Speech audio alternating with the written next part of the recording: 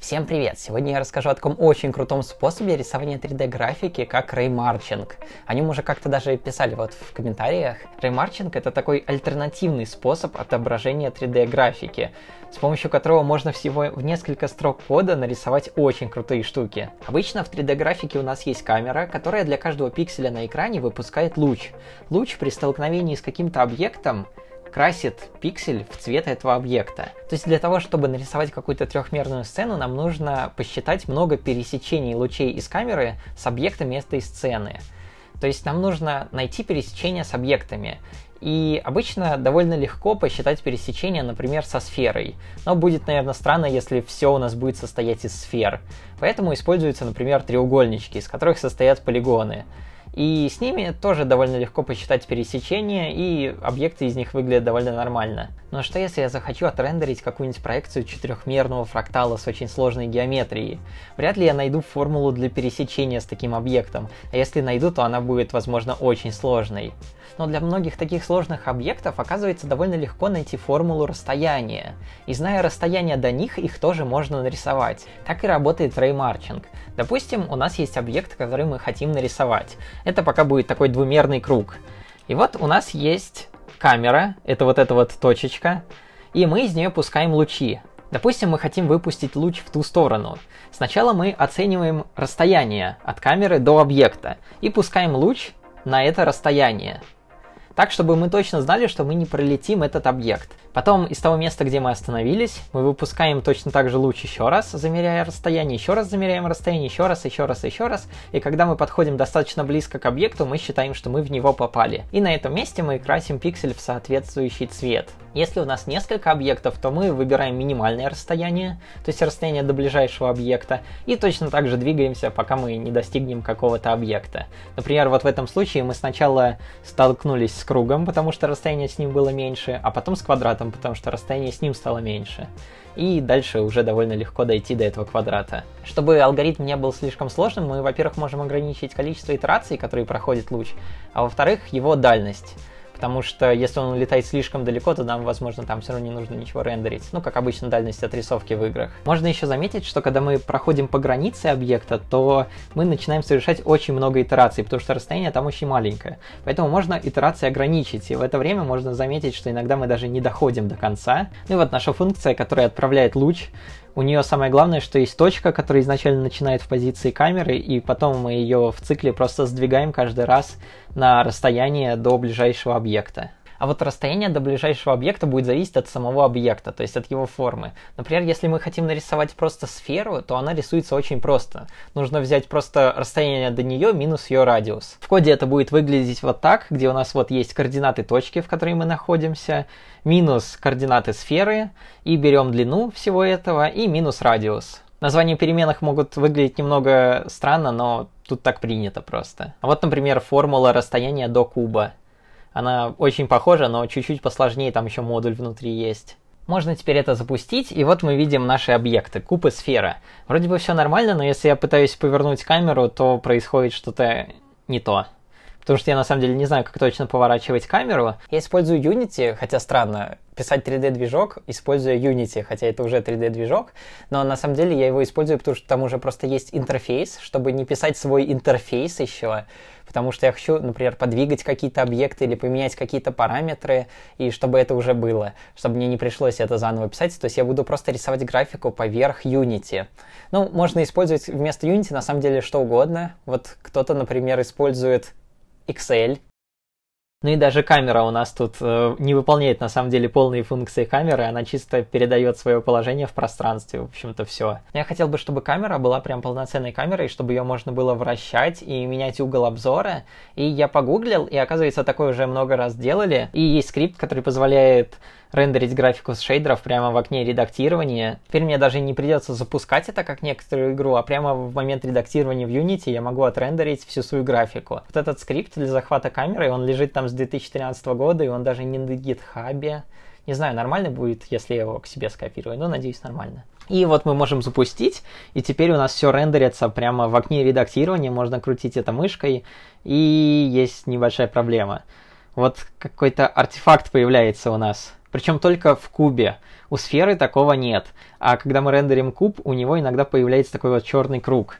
Я еще погуглил, и оказалось, что это связано с тем, что бывают знаковые и беззнаковые функции расстояний. В реймарчинге принято использовать знаковые функции расстояний. Нам нужно использовать знаковые функции расстояний. Вот что это значит. Допустим, у нас есть точка, и нам нужно измерить расстояние до круга. Допустим, оно 5. А у этой точки, ну, допустим, 2. А у точки внутри круга расстояние будет тогда минус 2, потому что внутри круга у нас расстояние отрицательное. Получается, что мы когда углубляемся как бы внутрь объекта, расстояние уходит в минус. Ну а на границе оно, соответственно, будет нулевым. Но проблема с той функцией куба, которую я использовал, в том, что у нее расстояние внутри не уходит в минус. То есть вместо знакового расстояния у нас здесь расстояние до границы. Вот, допустим, если от этой точки расстояние, ну, например, 3, от этой там будет 0, то от этой точки у нас будет расстояние, например, 2 а должно быть минус 2, то есть у нас должно быть внутри отрицательное расстояние, а оно положительное. Получается, что когда у нас луч пролетает внутрь этого куба, он может посчитать, что он еще не попал в куб,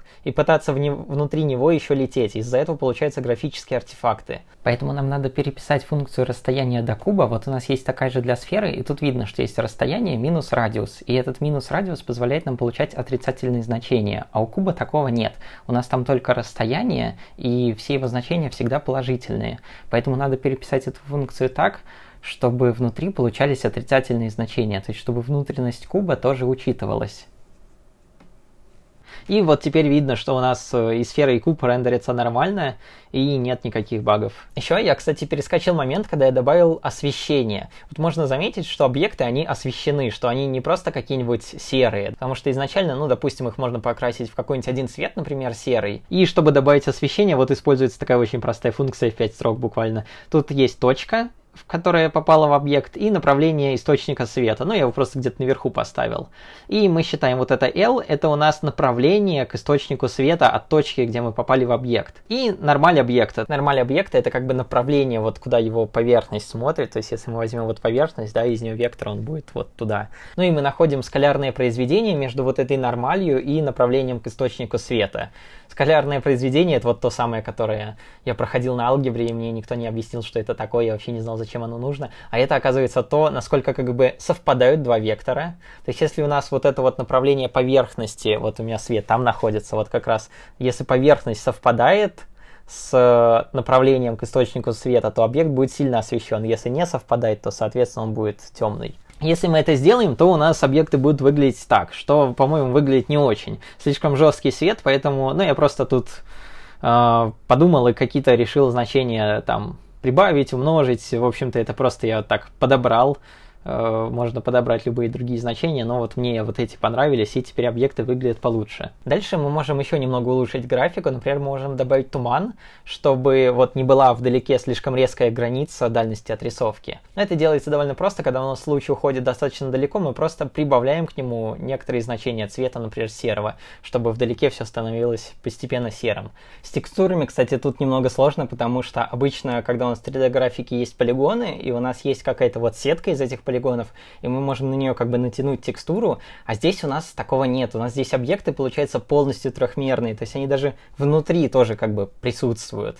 И, например, сфера у нас получается даже не сфера, а шар скорее, потому что у нее есть внутренность да, то есть у нас не просто поверхности объектов. И на вот этот как бы цельный объект вот тяжело уже получается натянуть какую-то текстуру, но это тоже можно. Еще мы можем улучшить графику, добавив вторую модель освещения, которую по-русски называют Ambient Occlusion. Так вот, Ambient Occlusion делает так, что когда у нас есть какая-то сложная геометрия, то там появляется тень. Ну, в большинстве случаев, например, когда у нас есть какой-то угол, то в этом углу появляется тень, да, то есть если объект такой вот прямой, там меньше тени. Если есть угол, то там свет свет хуже проходит. И обычно чем сложнее какая-то геометрия, тем сложнее свету туда пройти. И на основе этого принципа мы можем точно так же делать. Если геометрия достаточно сложная, то там будет темно. И в реймарчинге это очень легко сделать, потому что когда у нас луч летит, мы постоянно делаем проверки а, с ближайшей геометрией. Если геометрия будет сложная вблизи этого луча, то луч будет совершать больше проверок. И, соответственно, чем больше проверок, тем сильнее мы можем просто затемнять объекты.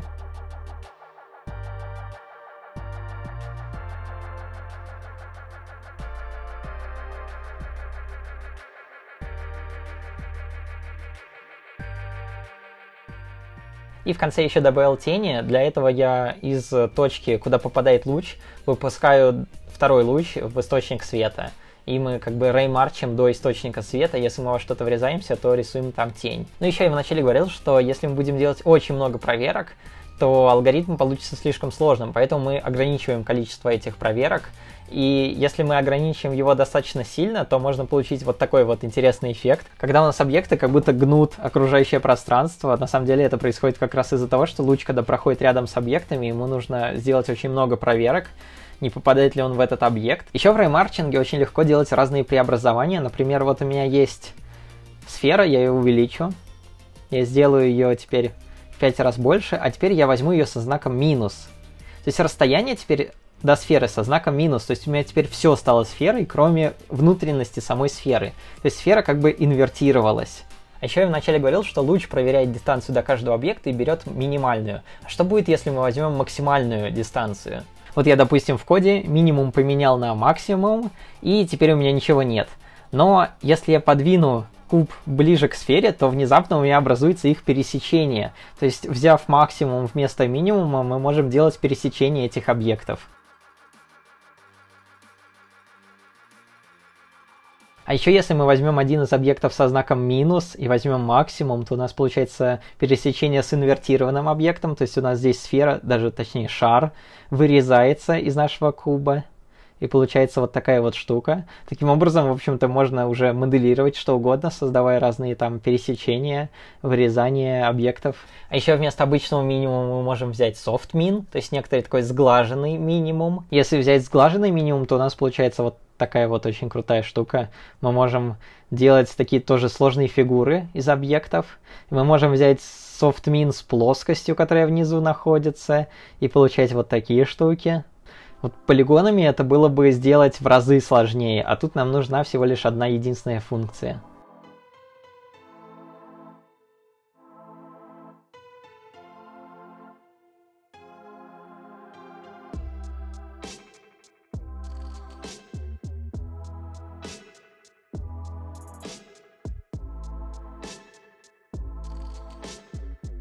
А еще если я дистанцию до сферы по одной из осей умножу на что-нибудь, например, на синус, то у меня сфера получится вот такой вот ребристой внезапно. И я могу делать софтмин с вот этим кубом, и у меня получится вот такая вот крутая штука.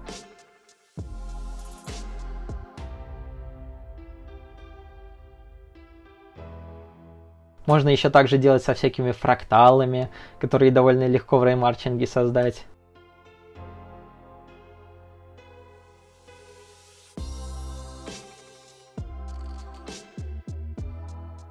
Вот, кстати, можно заметить, что я, по-моему, не очень правильно написал функцию тени, поэтому тень от фрактала, например, уже какая-то глючная.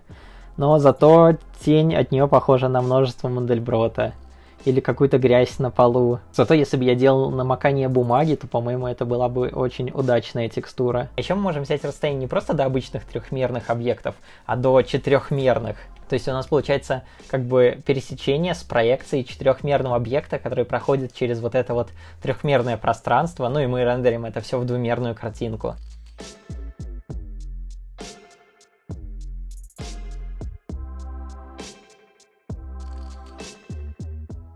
Но вот, правда, при таком подходе у нас куб просто появляется и исчезает. Можно заметить, что при исчезновении куба у нас остается еще такая тень. И это как раз из-за вот этого ambient occlusion, потому что когда луч проходит рядом с объектом, то он затемняет пиксель. А так как у нас объект получается рядом, только он рядом как бы в четырехмерном пространстве. И поэтому его уже нет, но тень от него еще есть. Чтобы была лучше заметна четырехмерность куба, можно его повернуть по разным осям в четырехмерном пространстве и уже потом пропустить через трехмерное пространство.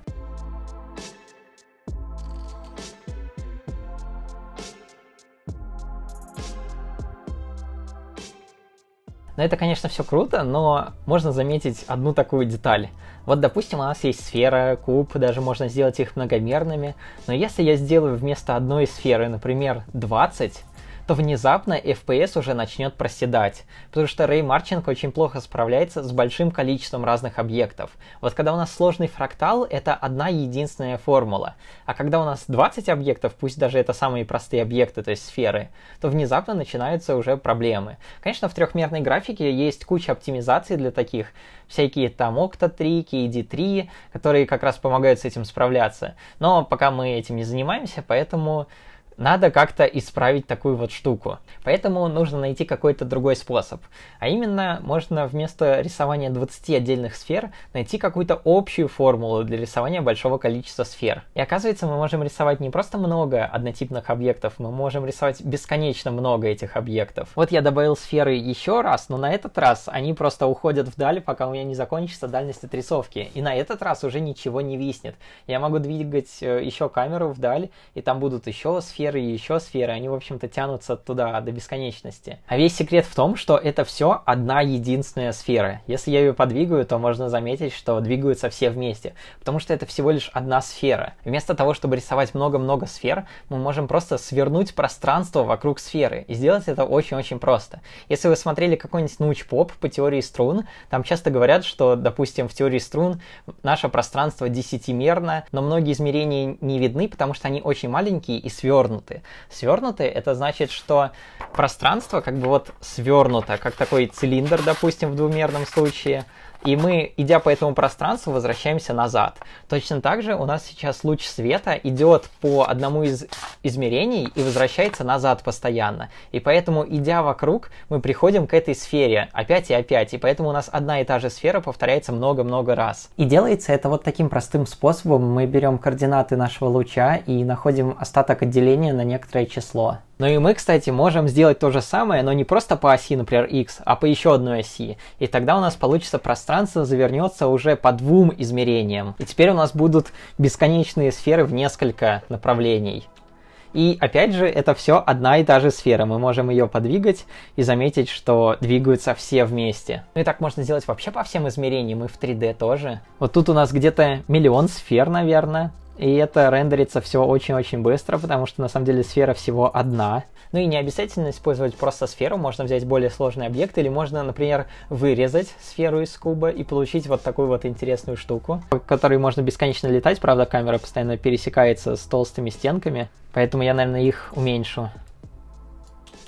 Во, вот теперь это выглядит хорошо. Ну и графика, конечно же, идеальная, нет никаких полигонов, можно приблизить к какому-то объекту и посмотреть, что он идеально ровный, такой гладкий. Насколько бы мы не приближали, Проблема таких бесконечно повторяющихся объектов в том, что они все одинаковые, но мы можем решить и эту проблему. Например, здесь я сделал плоскость с бесконечным количеством сфер, как раньше, но теперь я сферы умножаю на синус одной из координат настоящего луча, то есть того луча, который я еще не успел завернуть в пространстве. И теперь все сферы стали разными, теперь они похожи на какие-то узоры на этой плоскости. Тут я это сделал по одной оси, но мы можем сделать это, например, по двум. Вот если я попробую это сделать по двум осям, то у нас получается вот такой вот узор. И тут мне кажется, что я вижу даже лицо из недавнего мема. А еще в играх часто делают так, что у нас при отдалении понижается уровень детализации. Так вот, в реймарчинге мы можем вообще одним параметром очень легко понижать уровень детализации. Уровнем детализации у нас здесь является, например, то, насколько близко мы подходим к объекту, чтобы считать, что луч в него врезался. Если мы подходим не очень близко, то нам, соответственно, нужно очень мало итераций совершать. Объект, конечно, будет не таким ровным, но зато это будет гораздо проще. Ну и, конечно же, можно рисовать еще очень сложные объекты.